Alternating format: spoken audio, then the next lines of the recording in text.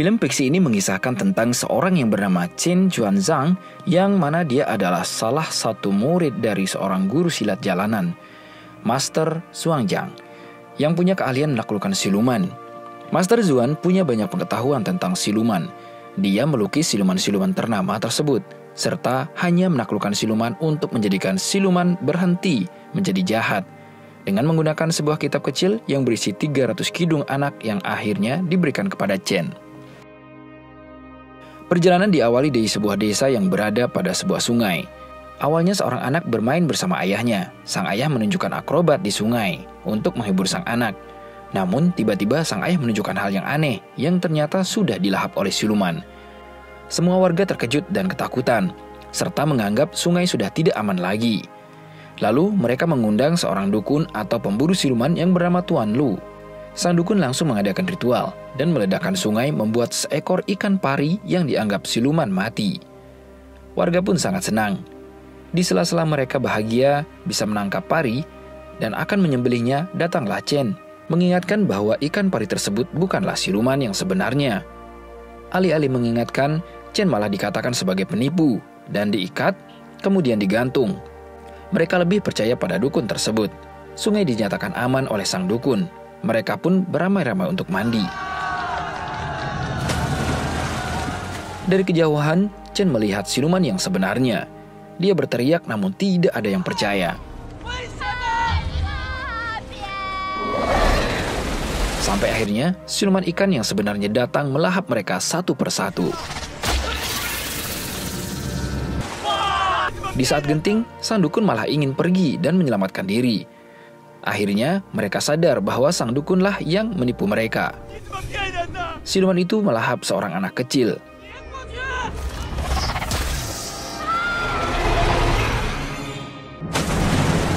Ibunya tidak terima dan langsung menceburkan diri dan ingin membunuh siluman tersebut. Namun sayang, malah sang ibu juga ikut dilahap siluman. Kemudian, siluman juga menghancurkan tiang tempat Chen diikat. Chen pun terbebas.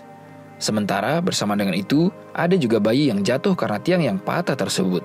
Chen dengan sigap menarik sang dukun untuk membantu meraih bayi tersebut.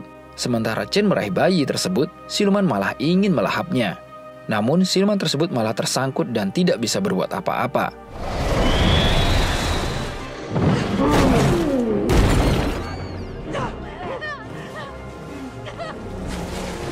Chen akhirnya mengetahui kelemahan siluman tersebut. Ia harus dibawa ke tempat kering, maka dia tidak akan berdaya. Chen dan Sadukun serta banyak yang membantu untuk melompat dan melontarkan siluman itu. Semua gagal.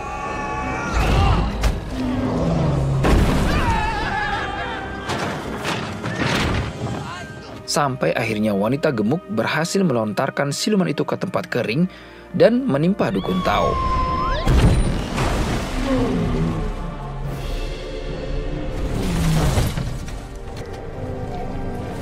Maka berubahlah wujud siluman itu seperti manusia. Warga ingin membunuh siluman itu yang sudah berwujud manusia yang tidak berdaya. Namun Chen menghalanginya dengan dalih akan membuat siluman menjadi baik dengan mantra dari gurunya. Namun yang terjadi siluman malah marah dan memukul Chen sampai akhirnya datanglah Miss Duan yang langsung menangkap dan menjadikan siluman ikan menjadi boneka. Warga pun akhirnya percaya bahwa Duanlah yang memang benar-benar penakluk siluman ketimbang Chen dan sang dukun. Misi berikutnya adalah mencari siluman lain. Chen akhirnya tiba di sebuah restoran yang sangat ramai.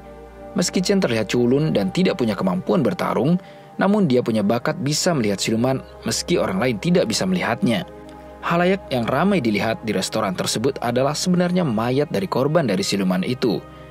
Di sana bahkan ada hidangan yang ternyata dibuat dari bahan baku manusia. Chen pun langsung berkata kepada pramusaji yang menjamunya, bahwa dia tidak bisa dikelabui karena dia adalah pemburu siluman. Chen langsung memukul wanita itu. Saat terdesak, datanglah Juan menghalang dan menghancurkan para siluman dengan gelang saktinya.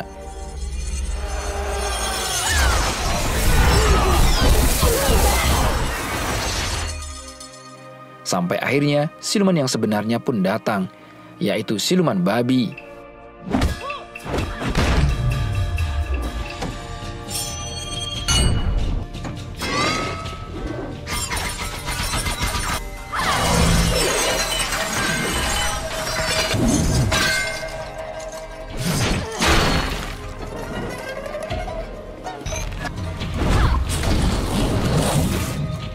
Duan berhasil mengunci siluman babi dengan gelang saktinya dan membuat roh siluman berada di mulut babi untuk bisa diambil.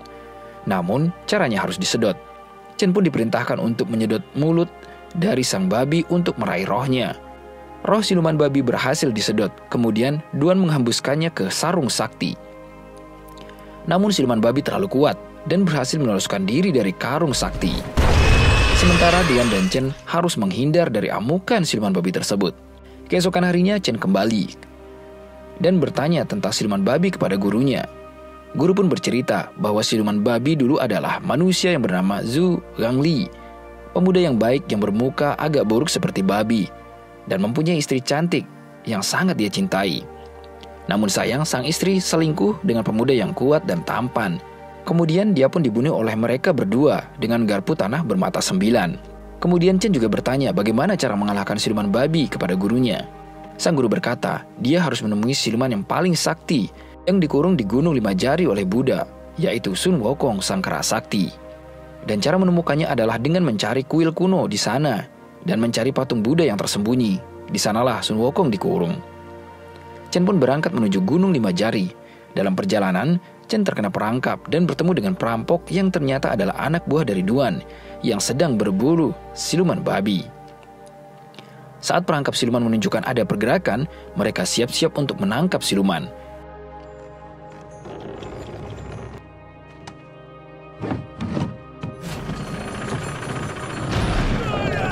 Tali perangkap tidak kuat menahan. Kekuatan siluman tersebut sangat kuat dan ternyata benar dialah siluman babi yang datang. Dengan kendaraan canggih, Chen Duan dan anak buahnya mencoba kabur.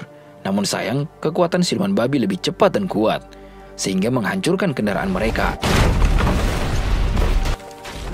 Chen yang terlempar jauh mencari Duan dan memeluk dengan erat mengira Duan sudah tiada. Mereka berdua sebenarnya saling menyukai, namun Chen masih kekeh dengan pendiriannya untuk tidak menjalin hubungan dengan wanita mana pun. Kemudian siluman babi datang mendekati mereka. Tiba-tiba datang sesosok harimau besar yang ternyata adalah pemburu siluman juga. Tidak hanya satu, mereka muncul bertiga dengan tujuan yang sama, yaitu melumpuhkan siluman babi. Mereka adalah pendekar harimau, pendekar kaki besar dan juga pangeran pedang.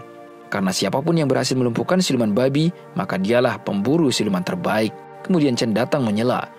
Mengapa tidak bersatu untuk melawan siluman yang kuat ini? Setelah itu Chen pun pergi melanjutkan perjalanan menuju Gunung Lima Jari sesuai dengan instruksi sang guru. Sesampainya di sana, dia pun menuju kilo kuno, namun tidak melihat patung Buddha. Dia pun terus mencari dan akhirnya menemukan lewat pantulan air dari petunjuk tempat air di kuil tersebut.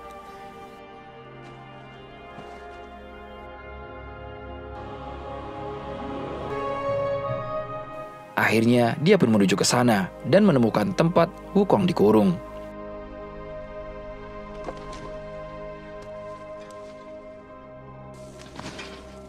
Sun Wukong sangat senang karena dia akan segera bebas setelah 500 tahun dikurung. Chen pun bertanya bagaimana cara untuk menangkap siluman babi. Wukong berkata, harus ada wanita cantik yang menari di bulan purnama untuk memancing siluman babi datang. Karena siluman babi masih sangat mencintai istrinya, yang dulunya selalu menari saat bulan purnama dan menyanyi. Duan yang terus membuntuti Chen akhirnya masuk juga ke tempat Wukong dikurung. Wukong merasa Duan sangat cocok menjadi pancingan siluman babi. Akhirnya, mereka pun menjalankan strategi tersebut. Duan menari dan menyanyi sehingga siluman babi pun muncul dan langsung ingin menerkam Chen dan Duan.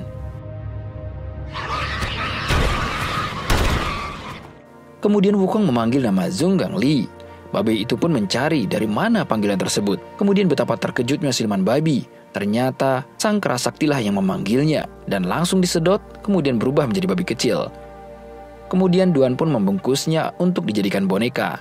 Akhirnya, boneka siluman ikan dan juga siluman babi diserahkan kepada Chen.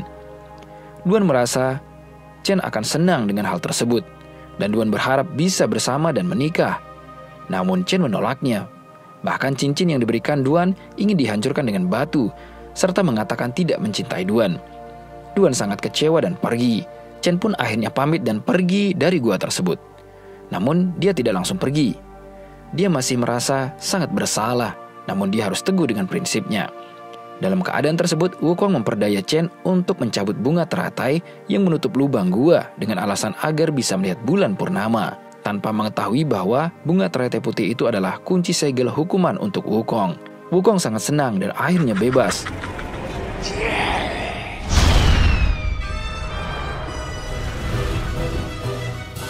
Kemudian langsung melempar Chen dan memarahi habis-habisan. Namun Chen berkata, Buddha masih bersamanya dan itu membuat Wukong sangat marah, mencabut rambut dari Chen sampai botak. Saat akan menghabisi Chen, tiba-tiba ketiga pendekar datang dan melecehkan Wukong karena badannya yang kecil. Mereka bahkan menentukan siapa yang melawan pertama dan membuat Wukong menjadi sangat marah. Namun satu persatu dari mereka dikalahkan oleh Wukong. Pertama adalah pendekar harimau, kemudian pendekar kaki besar,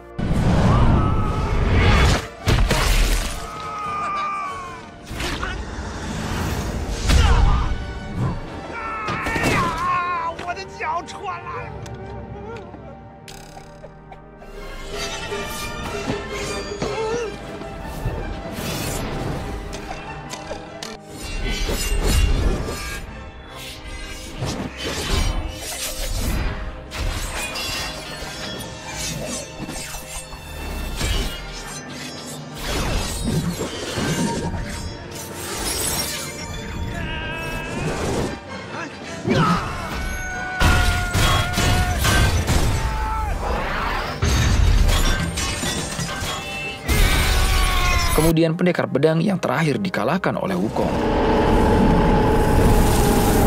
Setelah semua musnah, Wukong kembali, namun Duan datang dan menghalangi. Dengan mudah Wukong melumpuhkan Duan.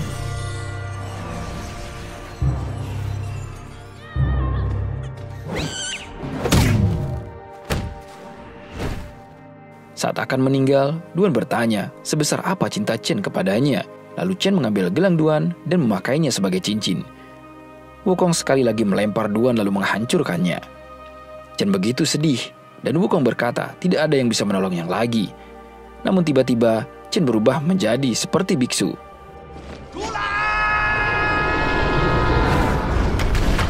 Yang membuat Wukong menjadi panik. Muncullah patung Buddha yang kemudian dihancurkan lagi oleh Wukong.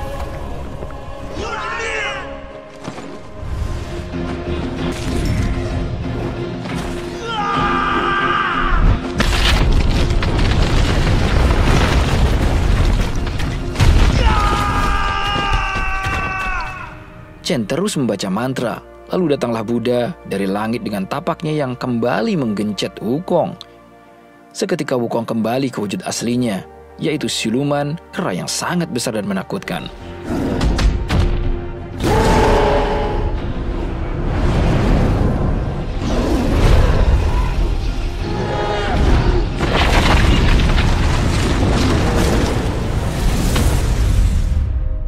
Kemudian Wukong pun akhirnya menyerah dan menjadi murid daripada Chen yang bergelar Biksu Tong Samchong dengan cincin duan yang disematkan di kepalanya. Dia juga akhirnya menghidupkan lagi dua boneka siluman babi dan siluman ikan untuk menemaninya mencari kitab suci ke barat. Terima kasih sudah menonton, jangan lupa like dan juga subscribe. Sampai jumpa di video selanjutnya.